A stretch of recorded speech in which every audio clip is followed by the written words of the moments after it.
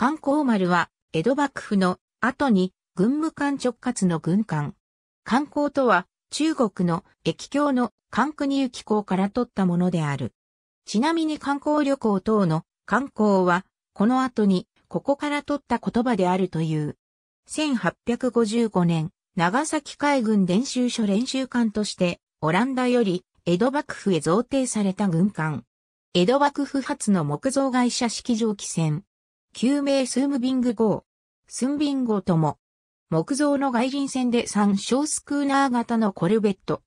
1850年にオランダのフリシンゲンで建造が開始され、1853年に完成。アメリカに先んじて日本を開国させ、権益を守りたいオランダ政府は日本におけるアメリカ艦隊の使命などについて詳細な情報を得るためヘルハルトス・ファビウス中佐を艦長に同船を日本に派遣、1854年に長崎期。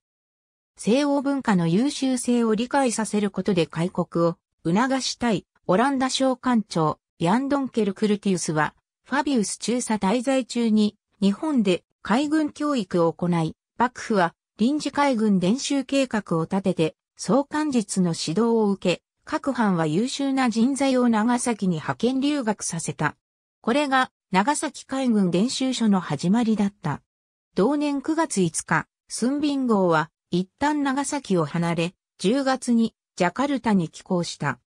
クルティウスはオランダ政府に対してスンビン号を幕府に寄贈するよう提案、政府の同意を得てファビウスはスンビン号を率いてフェデー号で1855年に再来日。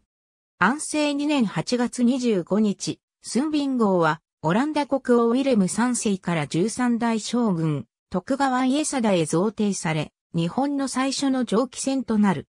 この時日本側は返礼として、加野正信や加野久志徳といった東大一流の御用絵師たちが描いた金屏風実装を送り、その大半が雷電国立民族学博物館に現存している。翌年、観光丸と改名し、幕府海軍の練習艦として使われる。安政4年春、江戸に総練所を設けることになり、観光丸は3月4日長崎を出港、26日江戸に到着した。この時に長崎の第一期伝習生のほとんどが江戸に戻った。なお、長崎海軍伝習所は2年後の安政6年2月に伝習中止の命令があり、閉鎖された。観光丸は万延元年1月に佐賀藩が預かり、3月25日受領、同藩の三重津海軍所で運用された。1865年に観光と再び改名。文久2年11月19日江戸へ開港した。源氏元年2月、神戸で幕府に返還された。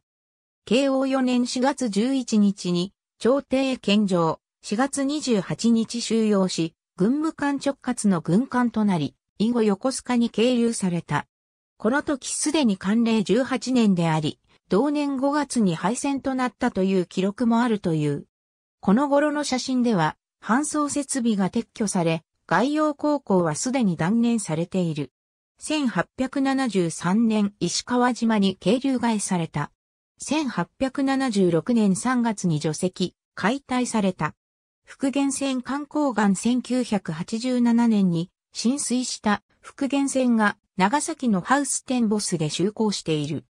造船は国立アムステルダム海事博物館所蔵の設計図面と模型をもとにオランダのハウス電子にあるフェロルメ造船所に発注され、当時の姿になるべく近い形で復元、建造が行われた。ありがとうございます。